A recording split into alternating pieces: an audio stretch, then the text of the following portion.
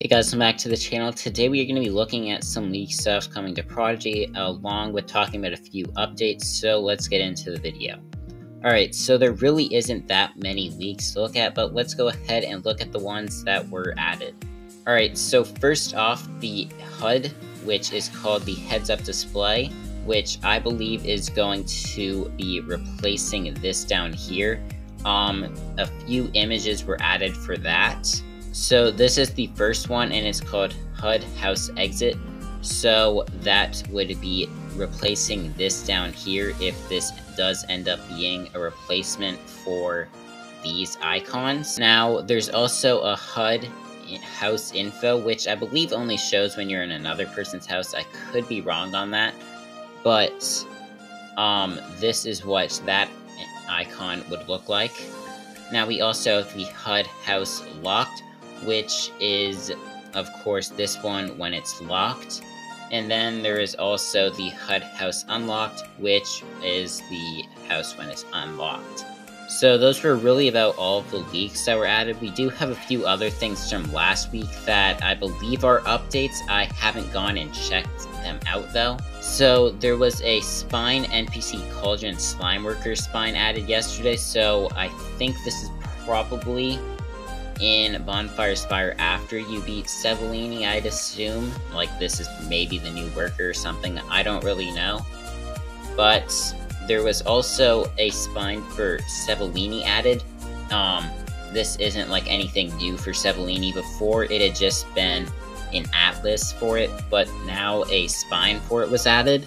Um, although nothing looks new about Cevallini, it's still pixelated. Those last two things were uh, added last week but this was updated on Monday. So this is called UI Replay Campaign. You've probably seen this image before, and um, it was updated the other day. The update wasn't very interesting, and this is what it looks like now. So all they did was add the time twister in it. Um, I don't know what this UI replay campaign is going to be used for, but it is interesting that we did get the time twister added into the UI.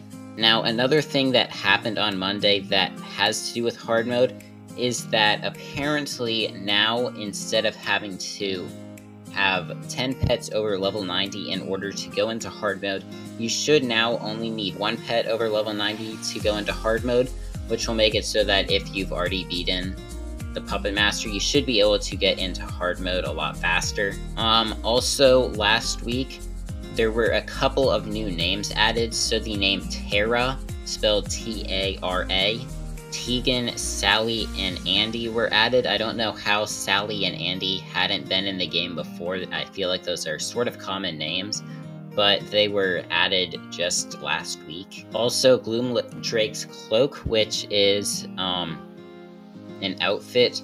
Its name was slightly updated. It now has a po- an apostrophe before the S not really anything too interesting. And then finally, there are a few metadata updates from today. So the physical dragonling is now called the physical wyvernling.